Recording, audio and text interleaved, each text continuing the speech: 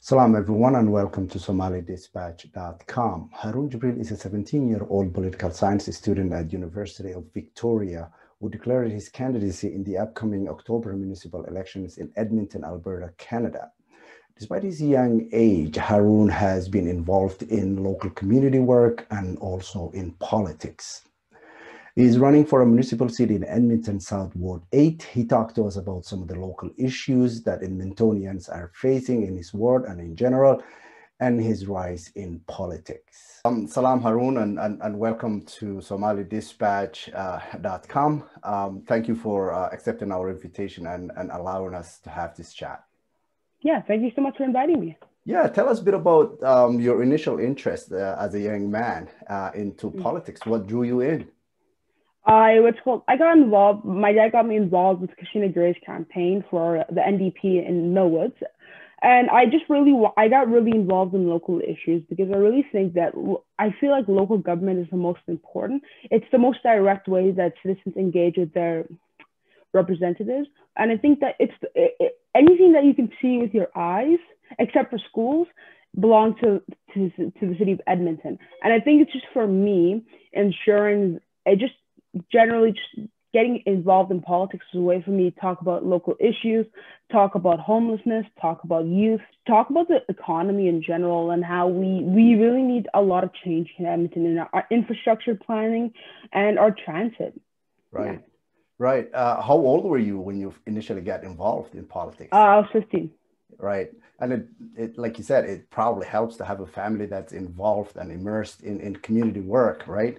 Um, yeah. So uh, you've described the campaigns of, of two different people that you uh, helped, one being a liberal and the other being an NDP. What was that mm-hmm. experience like?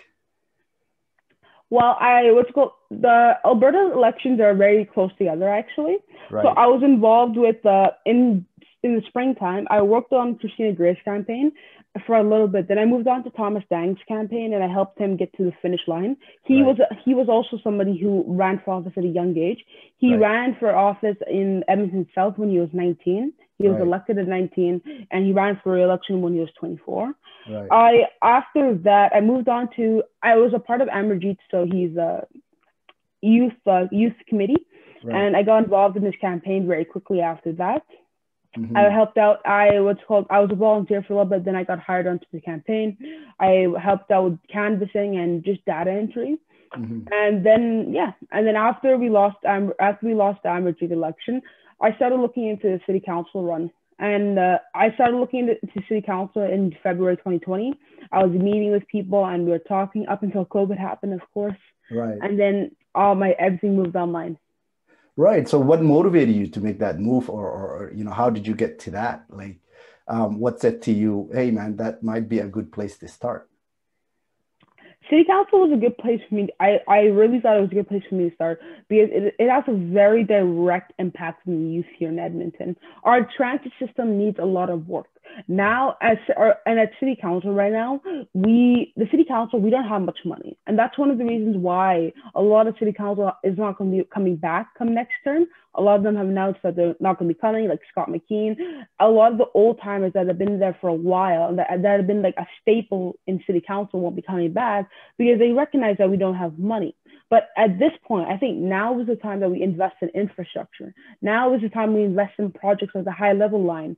Now is the time that we start bringing, we start doing revitalizations of neighborhoods. Like in older areas, we start looking at roads, like major intersections like Whyte Ave, Jasper Ave. And now is the time that we start creating jobs by creating programs to repair these areas. And I think we, and even our transit system, now is the time to start investing in the LRT system. Now is the time to start investing in the in the transit system, and that's one of the reasons why I have my one of my biggest plans is bringing free transit for youth under 21. It will help a lot. It will help drag more youth to Edmonton by making it more affordable for students to live here. It will bring new potential here. Right. It will help out a lot. In at the University of Alberta, especially, they charge about six hundred dollars a semester to park there. Imagine, and a lot of students they have to take up the transit, and in, and transit's no better because you have to pay about one hundred and forty dollars for every semester as well. So making it free will help a lot of students. Right. Uh, given uh, Edmonton's uh, a long history um, uh, of not having people of color, uh, specifically Black people, uh, on their councils and not being elected, it, what chances do you think you have in running? And if you can go over what some of the challenges in that would be great. I think, I think I have a very good chance with the discussion of Black Lives Matter here Edmonton, and with the discussion about uh, getting uh, people of color involved and even getting women of color involved here in Edmonton. It's become a very prevalent discussion. And this election, we've already seen about three in Edmonton downtown. There's another young black man who's running for office. His name's Adrian Bruff. We already have another female running here in Ward. Uh, in the in the deep south named Rhiannon Hoyle, and we're seeing a lot of black people stepping up to the table and deciding to run because we do need representation. Edmonton's been a city for 116 years. We've been a town. We've been a town since 19, uh, 1894. Yet we've never had a black city councilor. We've we've lacked representation. Edmonton has about 40% uh, people of color. Yet in the in the we've only had four people of color sit on council, and there needs to be change. See, when a when a city when a representative does not represent, does not physically represent their constituents, it's a problem. Because how can somebody advocate for issues if they don't even know what if they don't even come back come from the same shared background as somebody? We need a black we need a strong black voice on council. We need a strong youth voice on council. And i plan to be both that's that's right. Um, representation uh, is is is definitely uh, it has to be on that level. And if you can't relate to someone, um, you can you can represent them on broad issues, obviously, as a greater community. But specific concerns and challenges, someone has to have the same background as the people that they're representing. Um, I get it. So I know in municipal uh, politics, you don't need an endorsement or you don't need to belong to a party per se. Uh, as someone who mm-hmm. worked on both, um, you know, two, I should say, not both, because there's more than two uh, political parties in Alberta. Uh, why do you think it's, um, why do you not seek or you don't think it's a good idea to have an endorsement? Uh, in my area, in my area, I'm especially I am running on a platform basically of getting things done. I don't. I I'm committed to working with any party. I'm committed to action on homelessness, action on ensuring systemic racism dies. I am. I'm committed to getting an active transportation system that works for everyone. I'm committed to investing in the infrastructure.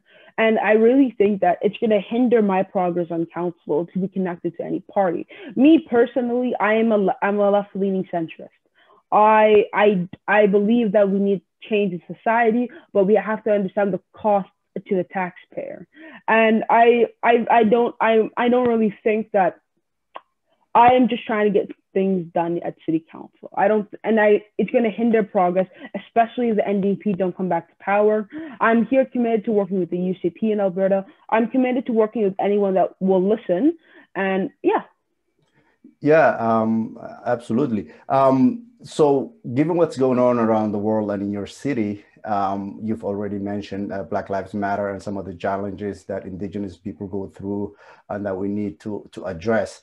Um, but given local politics and its limitations, uh, what can one do uh, when they see you running and, you know, yes, the homelessness problems and, and the parking and mm-hmm. transportation, mm-hmm. those are huge local issues.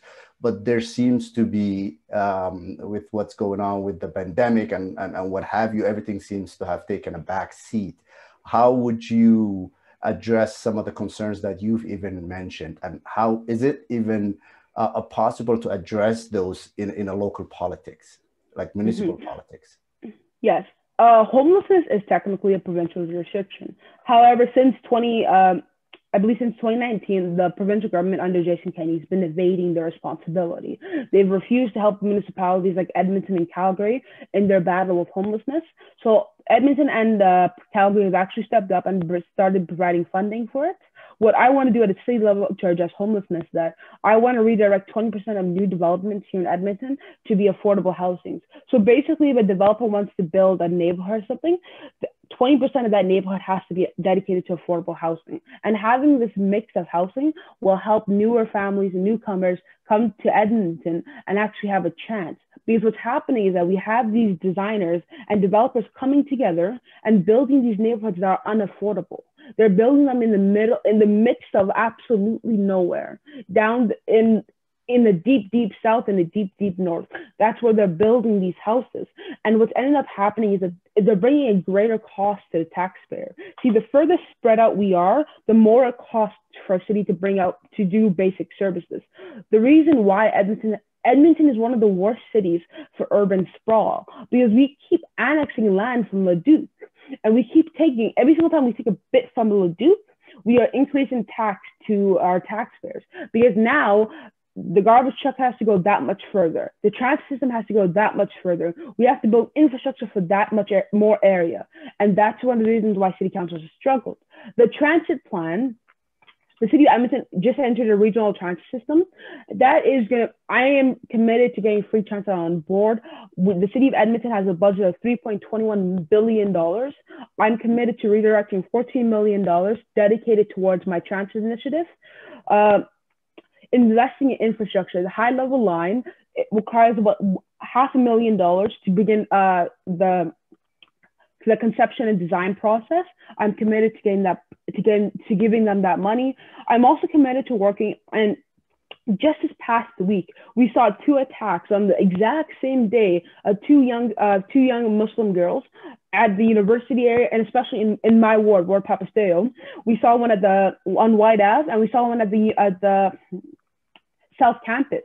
And we need to address systemic racism in, in Edmonton. I know for years politicians have said that's not our city, that's not our problem. It is our problem because we have to address it. This Edmonton has to be a safe place for everyone. I'm committed to strengthening the anti-racism committee. I'm committed to bringing in to working with Edmonton police to ensure that we're not carding black people and we're not carding people of color on the street just for them for them walking around. I'm committed to bringing in body cameras for all officers in Edmonton. I'm committed to anti uh, anti-racism, and I'm committed to bringing in de-escalation training for every single Edmonton officer. And de-escalation training will also and anti-racism Anti-racism training will also be provided to all city staff in Edmonton. I'm committed to those two things. I'm also committed to working to ensure that we're not raising our taxes astronomically. These ideas are going to cost money. I understand that. But the city of Edmonton has $3.21 billion.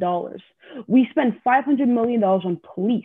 We spend 400, we spend about 250 million on waste management services because that's how much it costs to service a city that is this much, that is this far spread out. So n- these ideas aren't radical. These ideas aren't new. We know these are issues. Investing in infrastructure, tra- my transit plan, the economy, homelessness, these are very important issues. I'm here to amplify them and get them into discussion. I'm also here for youth engagement, getting more youth to the table. I want to see more youth involved in City of Edmonton public engagement sessions. I uh, was in all of my years at high school, I was never once approached for a public engagement. I can't tell you anyone else in my high school that was approached for one. We need to get more used to the discussion because we are the ones that have the largest stake in Edmonton's future. We are the ones that are going to be here for the next, I don't know, 40, 50 years. And this is this is where most of us are going to raise our kids. And the problem is, is that now we have politicians on city council, we have politicians in the province that are chasing our youth out of Alberta and they're running to BC or they're running to Ontario. And we need to keep Alberta talent in Alberta. Right. Um, finally, uh, as you know, uh, in in the uh, Black and Indigenous communities, specifically Somali community, there's this course of young men who are experiencing uh, considerable challenges, including unemployment, incarceration, and in some cases death. And now with the pandemic and, and, the, and what's going on around the world, uh, the incidents that you described, uh, the hate uh, attacks and all of that uh, is kind of uh, getting traction in Alberta as well. Um, as a role model, if you if you win, obviously you're going to be, you know, someone that people look to, especially youth look to. what could they expect from you? I am I'm one of the things I'm going to do, and I'm going to encourage, I'm going to encourage local developers when I'm signing contracts for infrastructure deals here in Edmonton. I'm going to encourage 20% to be minority youth. I'm going to encourage another 30% to be youth and uh, youth from 18 to 23. Getting more youth into jobs is incredibly important to me. And one of the ways, and similar to Theodore Roosevelt's idea of a new, deal, uh, no, sorry, Franklin D. Roosevelt, his idea of the New Deal, I really want to get a New Deal brought into Alberta and have something where basically the government's employing Albertans to start getting jobs, to start uh, working on infrastructure projects here in Edmonton. I think one of the best ways to keep youth out of jail is to get them doing something. I also want to, my transit plan will also help a lot of youth get to, to and from school and other activities. I also want to bring in down the road, I want to bring in a recreation plan where it'd be, we would have free recreation centers for anyone under 18 in Edmonton. And we can, we, I really want to combat, Edmonton, we have a very high youth crime rate. I plan to combat that by bringing in sports, by bringing in youth activities for them some for, for them to do something else. Encourage local people here at Edmonton to hire local youth. Get them to the discussion table, really. Appreciate it. Uh, those are uh, solid uh, ideas and much needed uh, ideas, and, and to have you push those ideas, uh, at least in local politics, is, is great to see. Um, I can guarantee you uh, a lot of youth are looking to you. Um, and uh, hopefully uh, the better you do, the more that would encourage them. I appreciate you, your time for this morning. And uh, until we speak next time, uh, take uh, good care. Yeah, thank you much.